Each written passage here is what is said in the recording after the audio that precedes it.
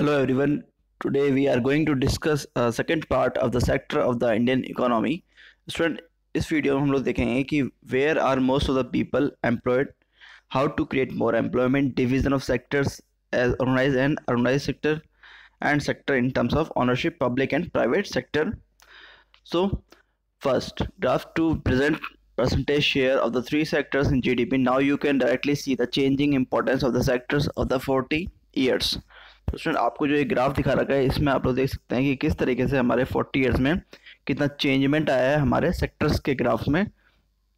तो यहाँ पर आपके जो 2000 1977 में आपके क्या था? जो एग्रीकल्चर पोर्शन था, इसमें ज़्यादा लोग इंक्लूड थे, ठीक है? और 2017-18 में आता थे, जो इसका ग्राफ है वो क्या हो गया धीरे धीरे कम हो गया, और जो ये शिफ्ट हुआ है वो कहाँ पर हुआ आपके? टर्सरी सेक्टर में और सेकेंडरी सेक्टर में ये चीज़ें शिफ्ट हो गई हैं, ठीक है? Then through industrial output production of goods went up more than nine times during the period employment in the industry तो नाइन टाइम्स आपके ये इंक्रीज किया है।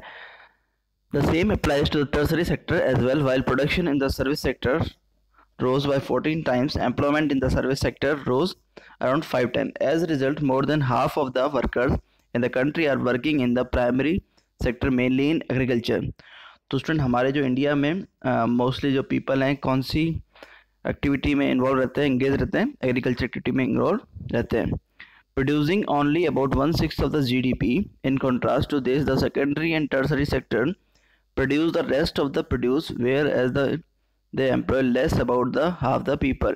Does this mean that the workers in agriculture are not producing as much as they could?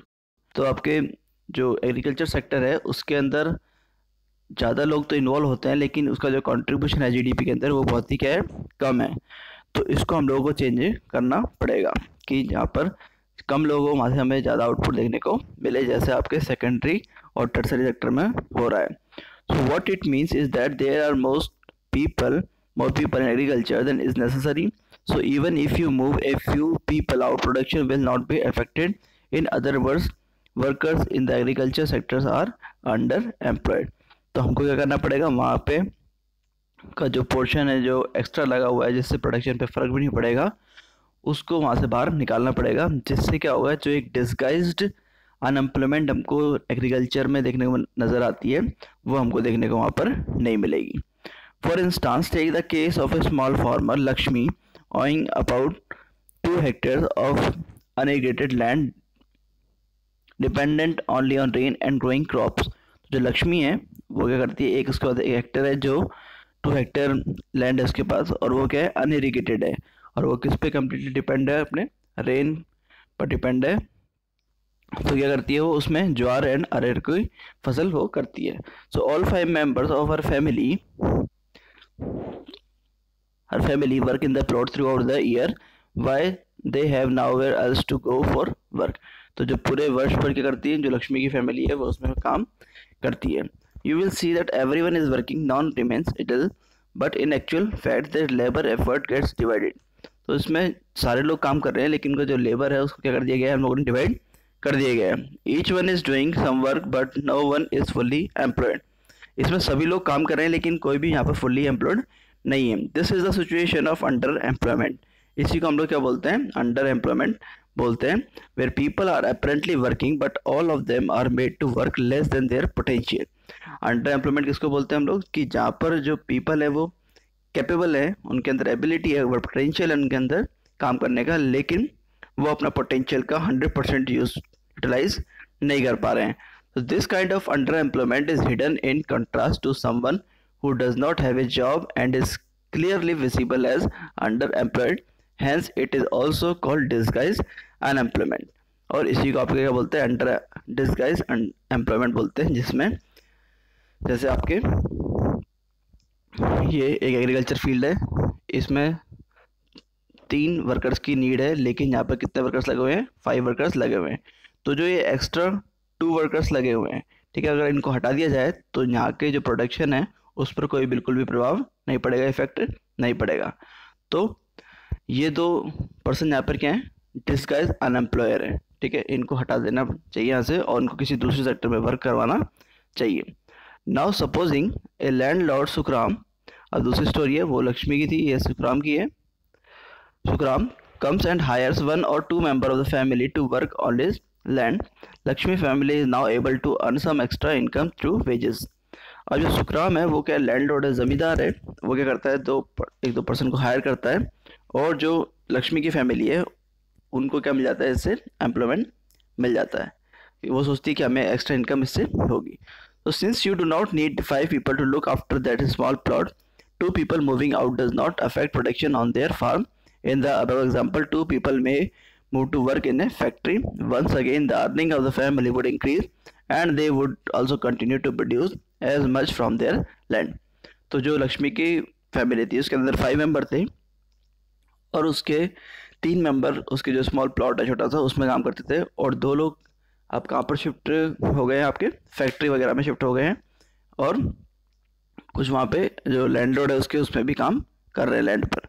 So there are lakh of farmers like Lakshmi in India तो लक्ष्मी के जैसे बहुत सारे फार्मर्स हैं, लोग हैं यहाँ पे, जो क्या करते हैं अंडर एम्प्लॉयमेंट के विक्टिम हैं, शिकार हैं। This mean that even if we remove a lot of people from agriculture sector and provide them with proper work elsewhere, agricultural production will not suffer. तो अगर हम उन लोगों को एग्रीकल्चर सेक्टर से बाहर निकाल लें तो हमारे जो एग्रीकल्चर प्रोडक्शन है, उस पर बिल्कुल भी इफ़ेक्ट नहीं पड़ेगा। The incomes of the people who take up other work would increase the total family income और इससे क्या होगा जब उनको वहाँ से बाहर निकाला जाएगा तो वो क्या करेंगे कुछ एक्स्ट्रा वर्क करेंगे और एक्स्ट्रा वर्क करेंगे तो उनकी जो फैमिली इनकम है वो तो इंक्रीज होगी साथ में पर कैपिटल इनकम और आपकी जो नेशनल इनकम है वो भी क्या होगी इंक्रीज होगी So this underemployment can also happen in other sectors. For example, there are thousands of casual workers in the service sector in urban areas who search for daily employment. तो जिस तरीके का लक्ष्मी के हम लोगों ने देखा कि वहाँ पर अंडर एम्प्लॉयमेंट हमको देखने को मिलती है तो ऐसे ही बहुत सारे लोग सर्विस सेक्टर में भी क्या अंडर एम्प्लॉयमेंट हमको देखने को मिलती है। There are employed as painters plumbers repair person and other doing odd jobs many of them don't find work every day इसी तरीके से जो हमारी सिटीज़ होती है अर्बन एरियाज़ होते हैं, वहाँ पर पेंटर्स प्लम्बर्स इनको क्या है डेली वर्क नहीं मिल पाता। फ्रिक्वेंटली वर्क मिलता है, दो दिन मिल गया, तीसरे दिन मिलेगा। पूरे हफ़्ते मिल गया फिर नेक्स्ट डे नहीं मिलेगा। तो इस तरीके से जो इनकी आ, मतलब काम करते हैं वो बड़ा क्या है फ्लक्चुएट करती हैं चीज़ें। Many of them don't find other people of the service sector on the street pushing a cart or selling something where they may spend the whole day but earn very little. They are doing this work because they do not have better opportunity काफ़ी बार उनको एक ही जगह पे काम करते हैं लेकिन उनकी जो इनकम है वो बहुत ही कम होती है जिससे उनकी जो डिमांड है उनकी फैमिली डिमांड है, वो पूरी नहीं हो पाती है। इसी वजह से आपके क्राइम वगैरह भी थोड़ा इंक्रीज हो जाते हैं। So how do create more employment अब हमको क्वेश्चन आता है कि कैसे हम लोग, जो ये लोग हैं, इनको एम्प्लॉयमेंट दे सकें। सो फ्रॉम द अब discussion we can see that there are continues to be considerable underemployment in agriculture there are also people who are not employed at all in what ways can one increase employment for people? Let us look at some of them. Take the case of the Lakshmi with her 2 hectare plot of unirrigated land. The government can spend some money or banks can provide a loan to construct a well for her family to irrigate the land. तो अभी हम लोगों ने जिस तरीके से picture में ये लक्ष्मी क्या कर रही है फ़सल लगा रही है वीडिंग कर रही है सोइंग कर रही है तो इनकी हेल्प करने के लिए हमारी गवर्नमेंट ने क्या किया है कुछ पॉलिसीज़ लेकर आई हैं जिससे इन जो ये स्मॉल फार्मर्स हैं, इनकी हेल्प हो सके। तो ऐसे में ये लोग क्या कर सकते हैं, जो गवर्नमेंट है वहाँ से बैंक है वहाँ से लोन ले सकते हैं ताकि ये अच्छे से अपनी जो इरी अनइरीगेटेड लैंड है, उसको इरीगेटेड लैंड में चेंज कर सके। Student unirrigated land unirrigated land उसको लैंड को बोलते हैं कि जहाँ पर जो वाटर है, उसका सोर्स क्या होता है, सिर्फ़ आपके रेन पर डिपेंड होता है। और इरीगेटेड लैंड हम लोग उसको बोलते हैं कि जहाँ पर आपके ट्यूबवेल या आपके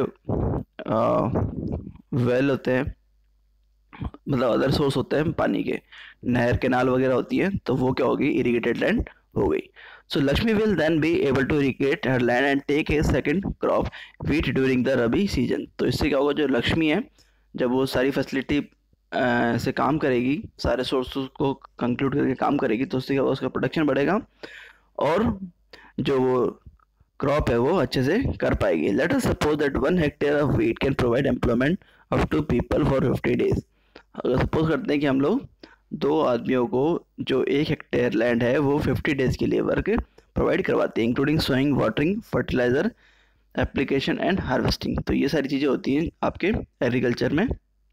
Harvesting sowing weeding ploughing so two more members of the family can be employed in her own field now suppose a new dam is constructed and canals are dug to irrigate many such farm dug to irrigate many such farms this could lead to a lot of employment generation within the agriculture sector itself reducing the problem of under employment ठीक है तो जो पास में हम लोग suppose करते हैं कि कोई डैम की क्या हो रही है खुदाई हो रही है बन रहा है कंस्ट्रक्शन चल रहा है उस पर तो वो क्या करेगा ज़्यादा लोगों को लंबे टाइम तक क्या करेगा एम्प्लॉयमेंट प्रोवाइड करवाएगा तो ऐसे ही प्रोजेक्ट्स हमारी गवर्नमेंट भी चला रही जैसे आपके MNREGA.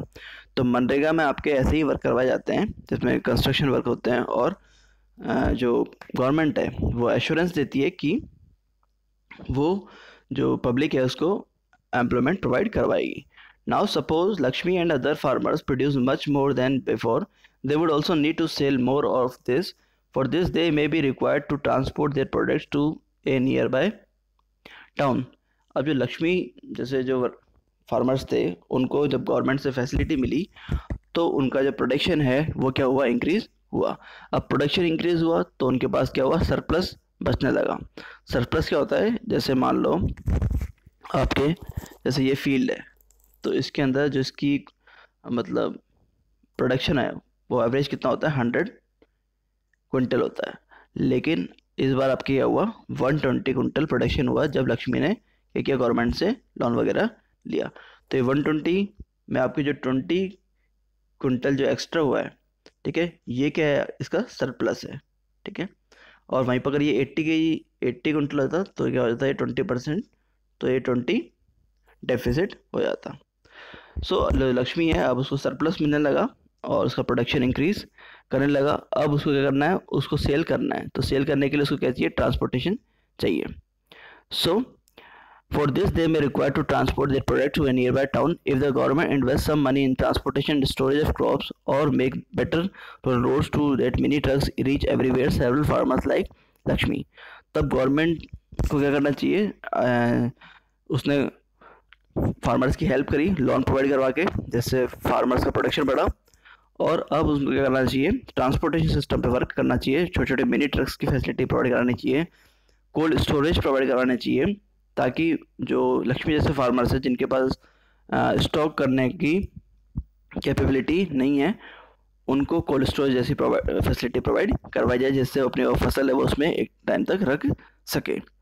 So Lakshmi who now have access to water can continue to grow and sell this crop this activity can provide produce employment to not just farmer but also other such as those in service like transport और trade अब जो लक्ष्मी को जो production बढ़ा, अब इसके production बढ़ने से, जैसे ये लक्ष्मी का प्रोडक्शन क्या हुआ इंक्रीज हुआ।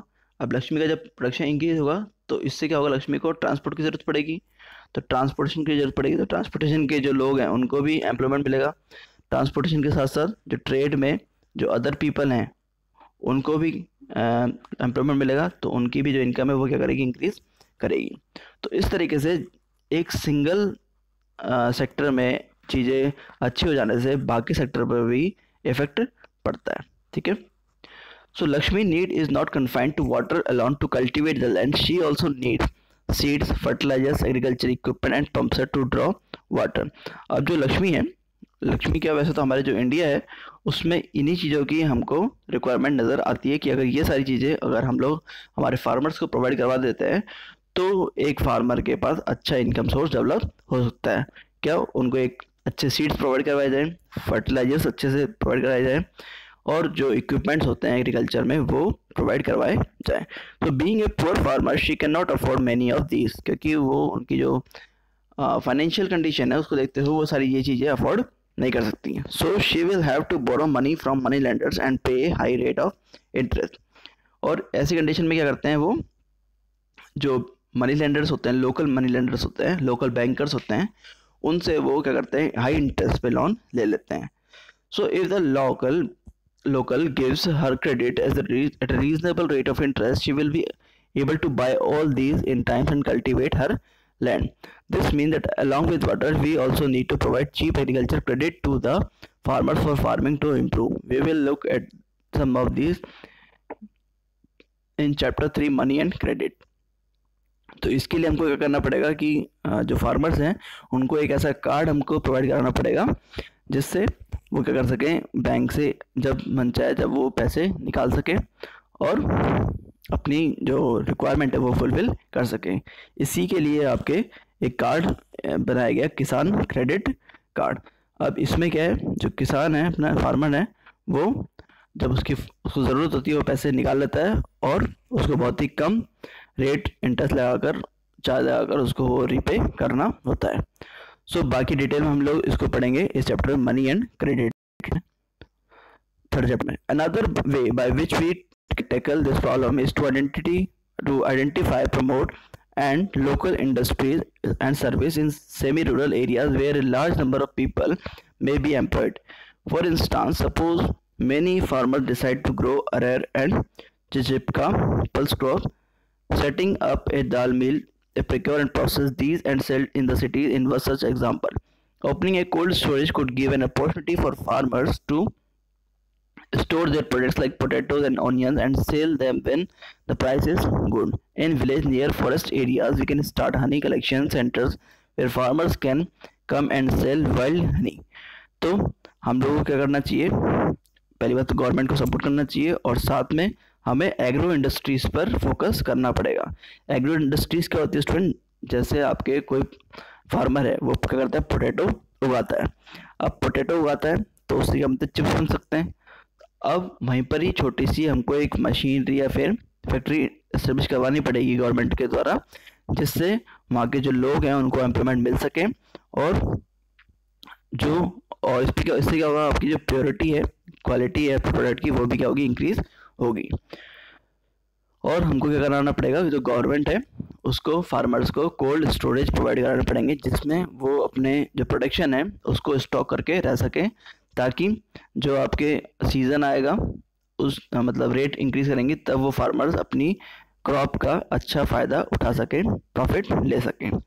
इसी तरीके से जो आपके फॉरेस्ट प्रोडक्ट्स होते हैं, ठीक है, जिसमें हनी हो गया बैम्बू हो गया तो इन चीज़ों को भी गवर्नमेंट को क्या करना चाहिए? एनहेंस करना चाहिए जिससे आपके जो लोकल वर्कर्स हैं यहाँ पे फार्मर्स हैं ट्राइबल ग्रुप्स हैं, उनकी इनकम इंक्रीज हो सके।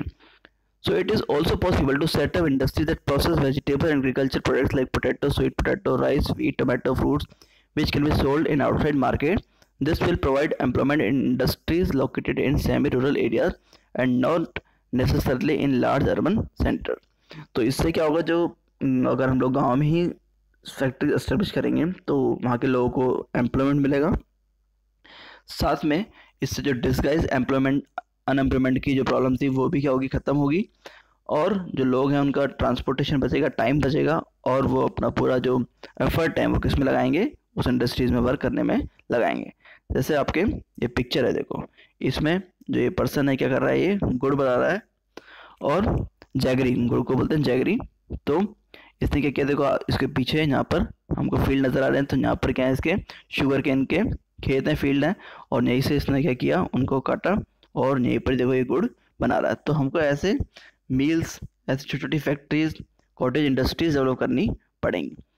So do you know that in India about sixty percent of population belong to the age group five to twenty nine years out of this only about fifty one percent are attending educational institution. The rest are not. They may be at home और many of them may be working as child laborers.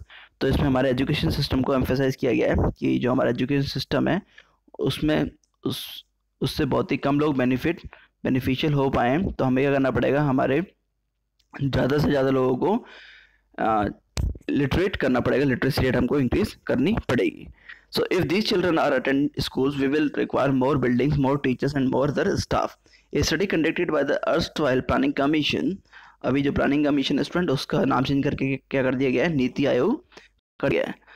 So estimate that nearly twenty lakh jobs can be created in the education sector alone तो अगर हमारे children's को literacy बढ़ाई गई तो उसकी literacy बढ़ाने के लिए हमारे जो एजुकेशन डिपार्टमेंट है एजुकेशन सेक्टर है इसके अंदर बहुत सारी जॉब्स क्रिएट हो जाएँगी, जिससे आपके ट्वेंटी लैख जॉब्स क्रिएट होंगी और बहुत सारे लोगों को क्या मिलेगा? एजुकेशन सेक्टर में एम्प्लॉयमेंट मिलेगा।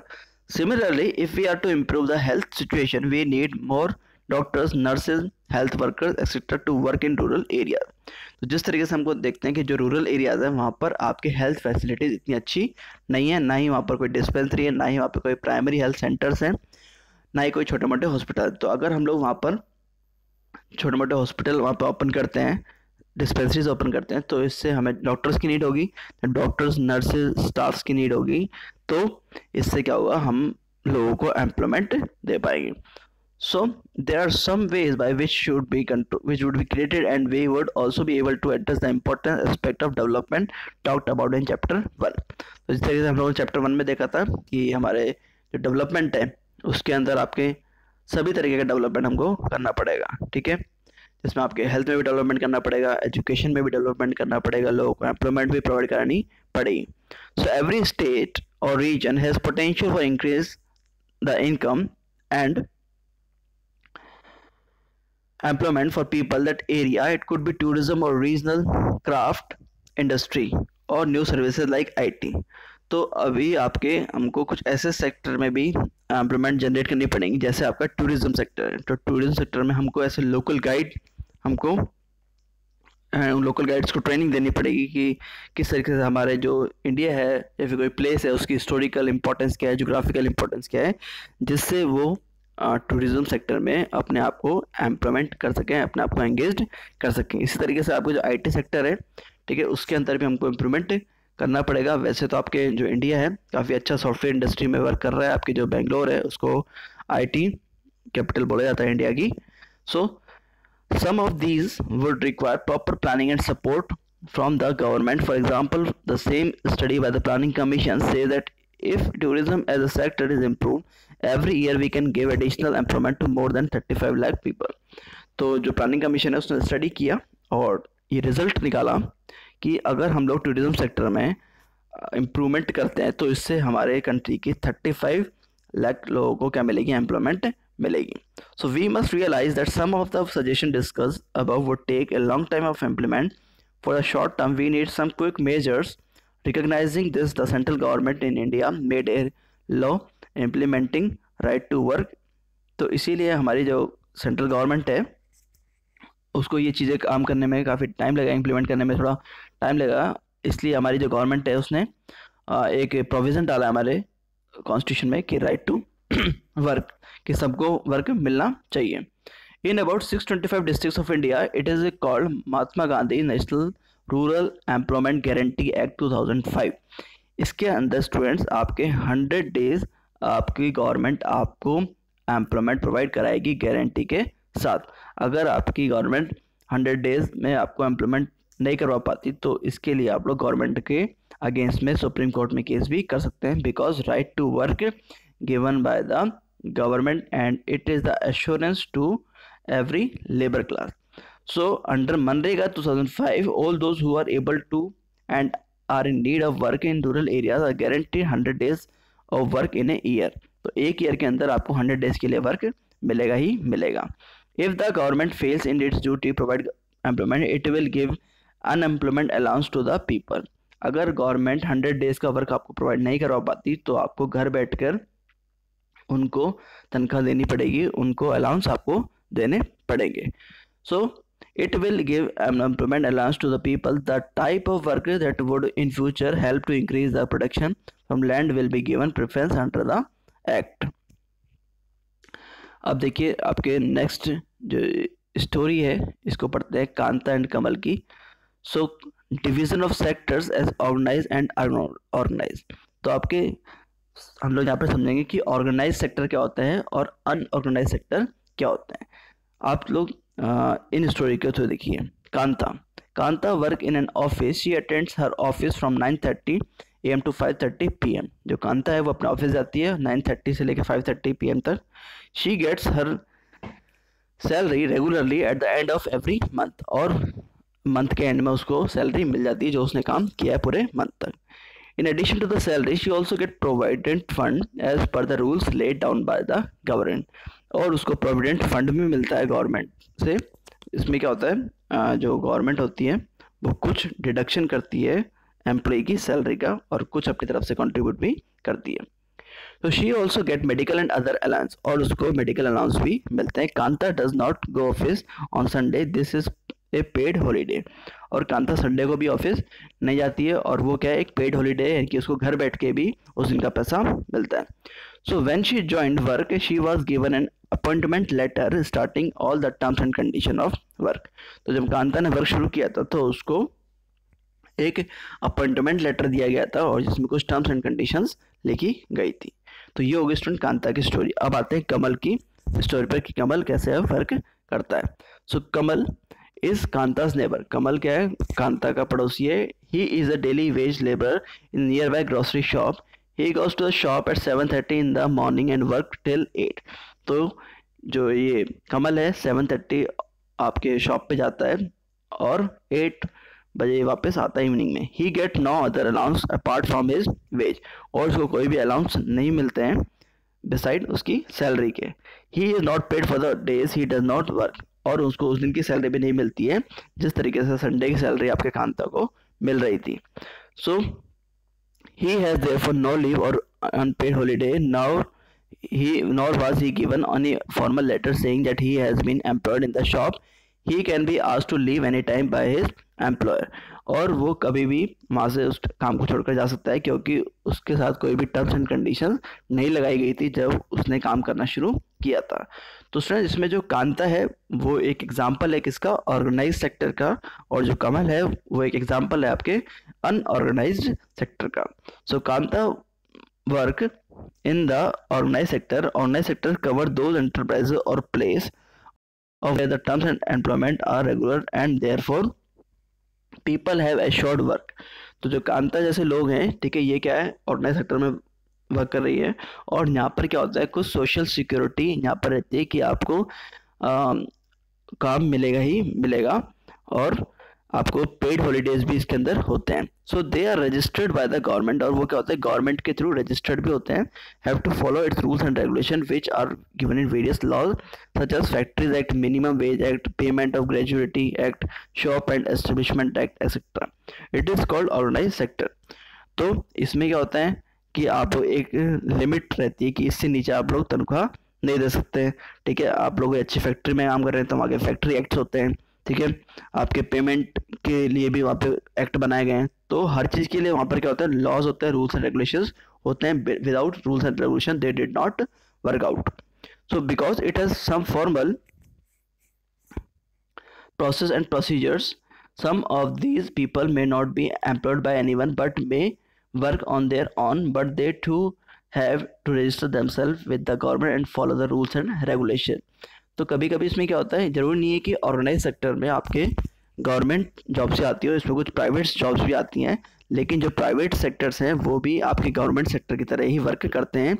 जिस तरीके से आपके गवर्नमेंट सेक्टर में कुछ सिक्योरिटीज़ दी जाती हैं, वैसी सिक्योरिटी आपको प्राइवेट सेक्टर में भी दी जाती हैं। तो कहने का मतलब ये है कि ऑर्गेनाइज सेक्टर में आपके ये नहीं कि सिर्फ़ गवर्नमेंट जॉब्स आती हैं, आपकी कुछ अच्छी प्राइवेट जॉब्स भी आती हैं। जैसे ओएनजीसी हो गया आपके, ठीक है एनटीपीसी हो गया तो ये सारी क्या है आपके प्राइवेट एजेंसीज हैं। जी जियो लाइन्स हो गया आपके एयरटेल हो गया तो ये क्या है सारी प्राइवेट एजेंसीज हैं जो क्या करती हैं, एक गवर्नमेंट वेलफेयर की तरह काम करती हैं।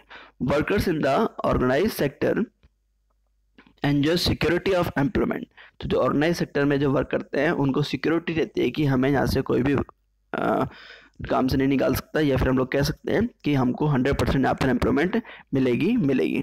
They are expected to work only a fixed number of hour और उनके जो वर्किंग आवर्स होते हैं वो क्या होते हैं? फिक्सड होते हैं।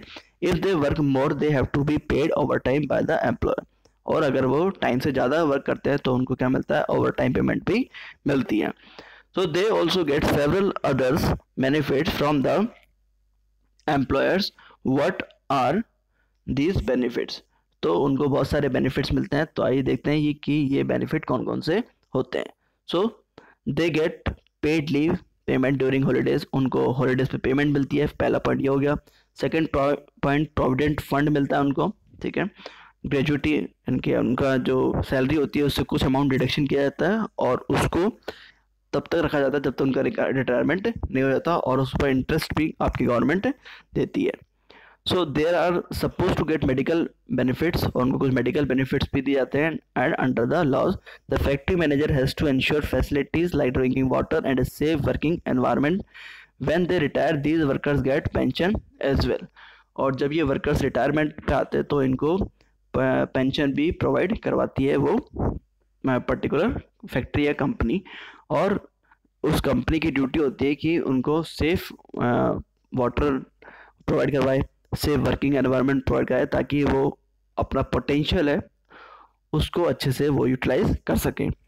In contrast Kamal work in the unorganise sector the unorganise sector is characterise by small and scattered units which are largely outside the control of the government. They, there are rules and regulations, but there was not followed.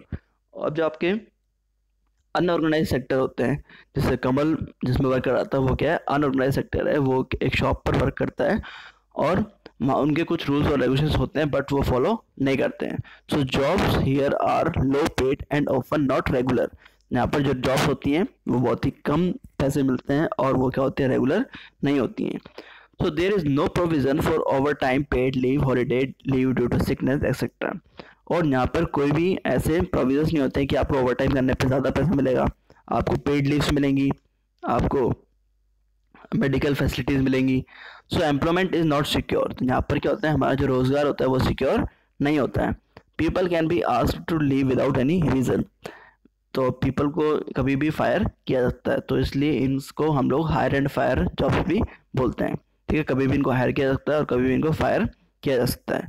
People can be asked to leave without any reason, where then when there is less work, such as during some seasons, some people may be asked to leave. A lot also depend on the whims of the employer. The sector include a large number of people who are employed on their own doing small jobs such as selling on the street or doing repair work. Similarly, farmers work on their own and hire laborers and when they require.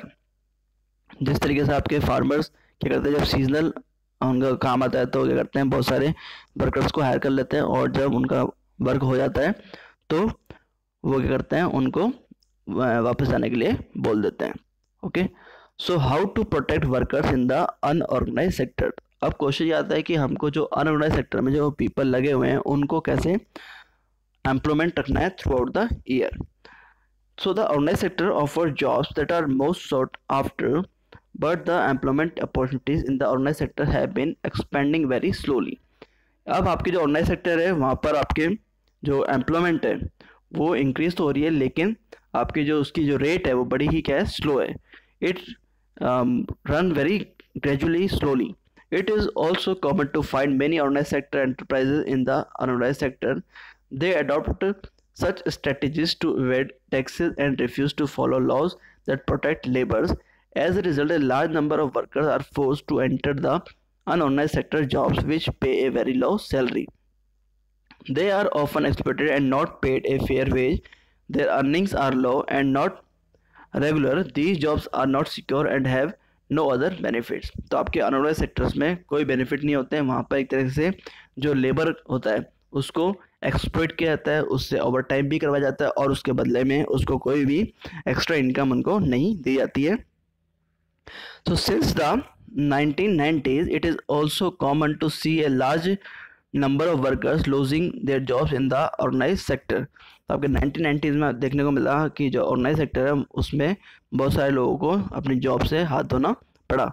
उनकी job चली गई थी। This work are force to take up jobs in the organise sector with low earnings hence beside the need for more work there is also a need for protection and support of the workers in the unorganise sector who are these vulnerable groups who need protection? In the rural area, the unorganized sector mostly comprises of landless agricultural laborers, small and marginal farmers, sharecroppers and artisans, such as weavers, blacksmiths, carpenters and goldsmiths. Nearly 80% of rural households in India are in small and marginal farmer category. These farmers need to be supported through adequate facility for timely delivery of seeds, agriculture inputs, credit storage facility and marketing outlet तो ये जो unorganised sector में इतने सारे लोग होते हैं, इनको गवर्नमेंट के थ्रू क्या कराना पड़ेगा? उनको प्रोटेक्शन देनी पड़ेगी जिससे वो होपलेस न हो और वो अपनी जॉब में कंटिन्यूसली बने रह सकें। In the urban areas unorganise sector comprises mainly of workers in small scale industry अब जो आपके ये अभी तक हम लोग किसकी डिस्कस कर रहे थे? रूरल एरियाज़ में डिस्कस कर रहे थे कि किस तरीके से अनऑर्गेनाइज सेक्टर क्या है? अनप्रोटेक्टेड है। और जो आपके अर्बन एरियाज़ है, वहाँ पे क्या स्मॉल स्केल इंडस्ट्रीज़ में लोग क्या करते हैं कैजुअल वर्क करते हैं कंस्ट्रक्शन वर्क में एंगेज रहते हैं, वो ट्रेड में ट्रांसपोर्ट में एंगेज रहते हैं। And those who work as street vendors head load workers garment maker rag picker etcetera small scale industry also needs government support for procuring raw material and marketing of output तो जो small scale industries होती हैं, उनको government क्या करनी चाहिए, मदद उनकी हेल्प करनी चाहिए, ताकि वो जो उनके सेक्टर में जो लोग लगे हुए हैं, उनको एक अच्छी वर्किंग एनवायरनमेंट वो दे सकें। So the casual worker in both rural and urban areas needed to be protected इससे क्या होगा? जो गाँव के अंदर और शहरों के अंदर जो लोग आपके छोटी छोटी फैक्ट्रीज में लगे हुए हैं, अगर हम उन फैक्ट्रीज को क्या करेंगे? थोड़ी हेल्प कर देंगे फाइनेंशियली सोशली तो उनके जो वर्कर्स हैं, उनकी वर्किंग कंडीशन अच्छी हो जाएँगी और वो पूरे मन से अच्छे से वर्क कर पाएँगे। इससे क्या होगा, हमारी जीडीपी इंक्रीज करेगी और पर कैपिटल इनकम भी इंक्रीज करेगी। We also find that majority of workers some from scheduled caste price and backward communities find them in the unorganise sector हम लोग देखते हैं कि जो एस सी एस टी हैं और जो ओ बी सी पर्सन है, ये अपने आप को अनऑर्गेनाइज सेक्टर में इन्वॉल्व रखते हैं। Beside getting the irregular and low paid work these workers also face social discrimination protection and support to the unorganized sector workers in thus necessary for both economic and social development. और जो ये लोग होते हैं, इनको बहुत सारे discrimination को वहाँ पे फेस करना पड़ता है। और तो इनकी जो जॉब्स होती है, वो बड़ी इरेगुलर होती हैं। तो इनसे, इससे क्या होता है, इनकी जो सोशल और इकोनॉमिक डेवलपमेंट है, उस पर भी अफेक्ट पड़ता है। ठीक है? तो हमको क्या करना चाहिए, इनके साथ डिस्क्रिमिनेशन बिल्कुल भी नहीं करना चाहिए। और गवर्नमेंट को इनकी हेल्प करनी चाहिए। जिससे इनका अच्छे से डेवलपमेंट हो सके।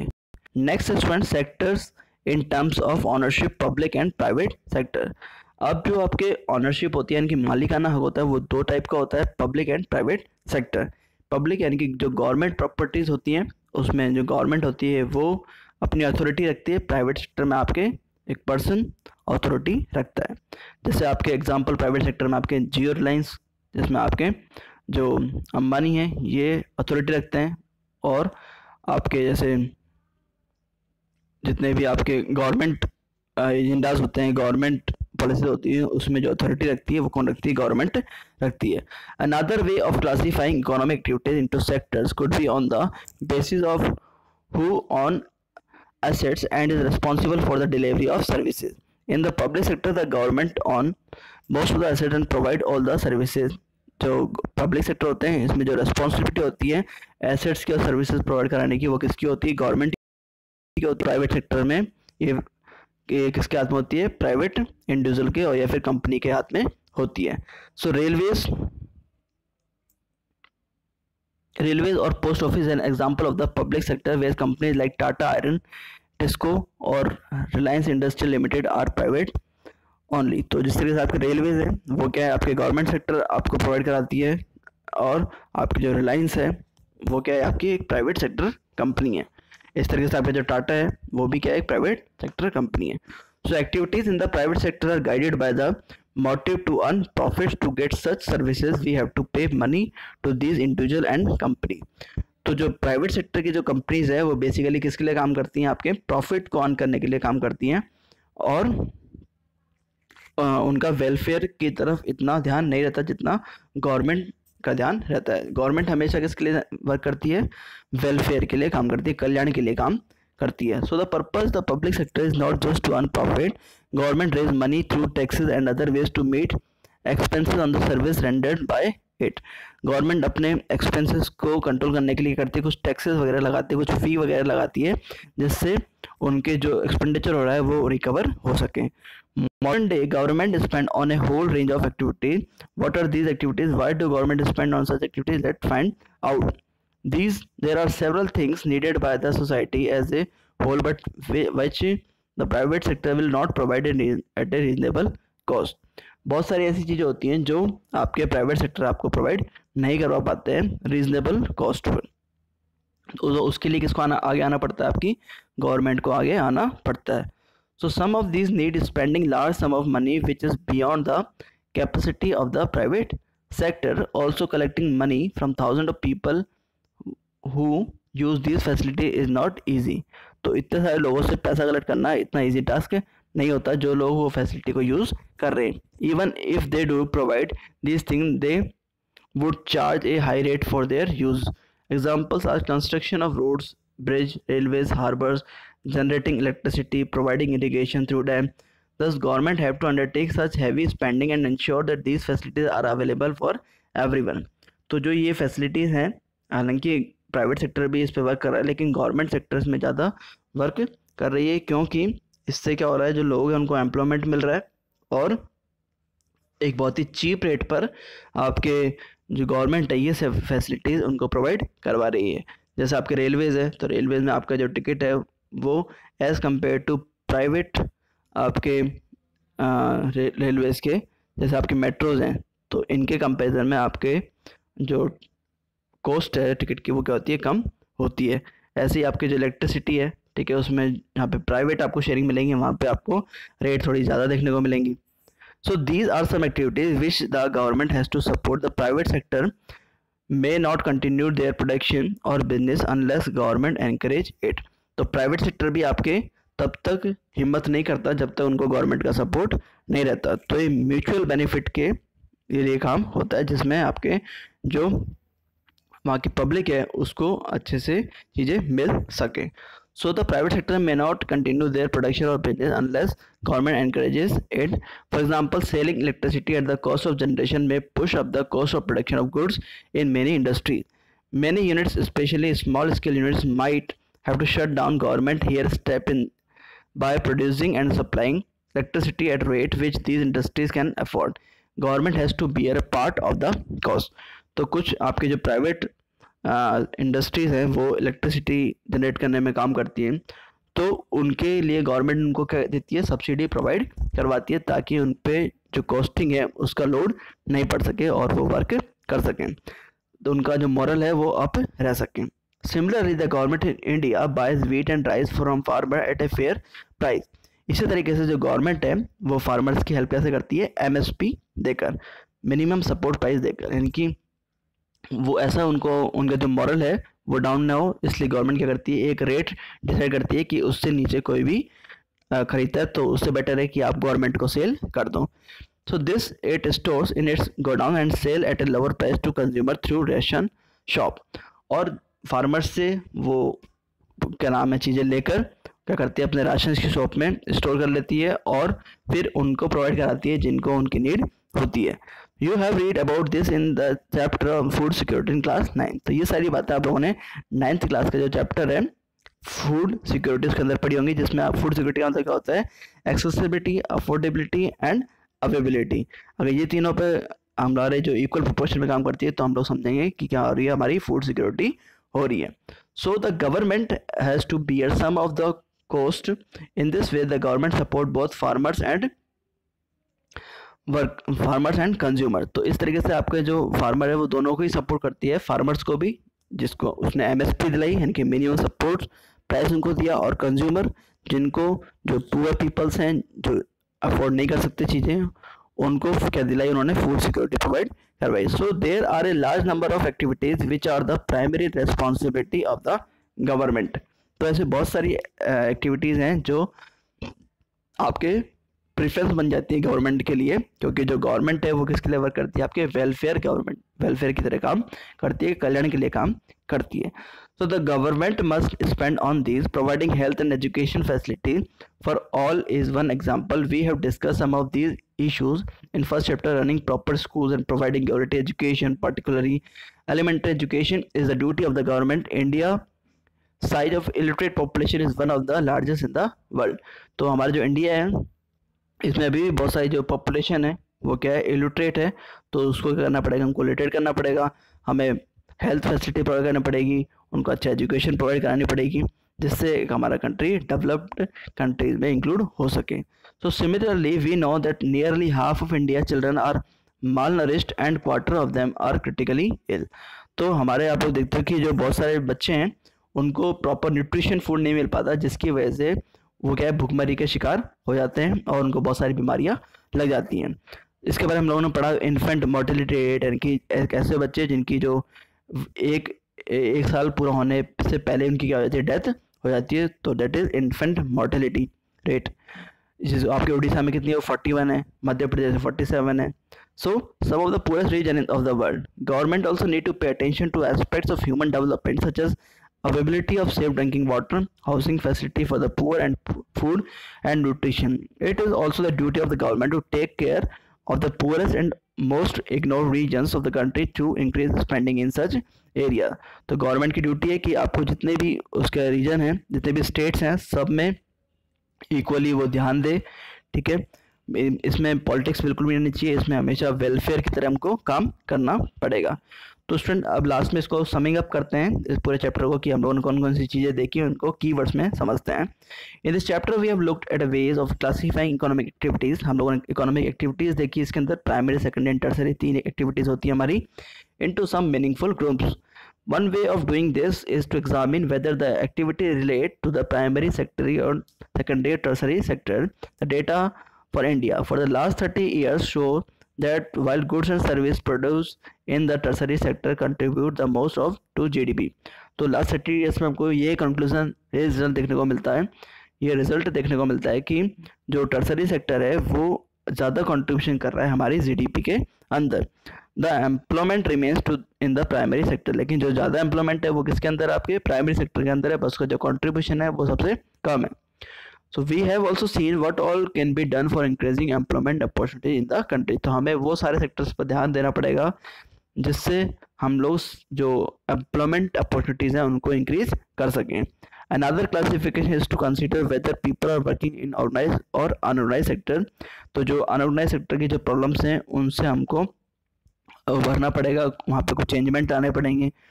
Most people are working in the urbanise sectors and protection is necessary for them तो जो आपके सोशल सिक्योरिटी और अदर बेनिफिट्स आपके ऑर्गेनाइज सेक्टर को मिलते हैं, वैसे ही बेनिफिट्स आपको अनऑर्गेनाइज सेक्टर को भी प्रोवाइड करवाने पड़ेंगे। तो we also look at the difference between private and public activities हम लोगों ने देखा कि किस तरीके से आपके पब्लिक और प्राइवेट ऑनरशिप के बेस पे आपके डिफरेंस होता है। जैसे प्राइवेट में आपके रिलायंस डिस्को टाटा वगैरह हो गया। पब्लिक में आपके railways post office and why it is important for public activity to focus on certain area तो ये सारी चीज़ें हम लोगों ने इस चैप्टर में देखी।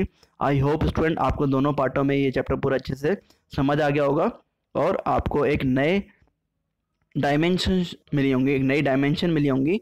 आपका सोच का जो दायरा है वो इंक्रीज़ किया होगा। So thank you and have a nice day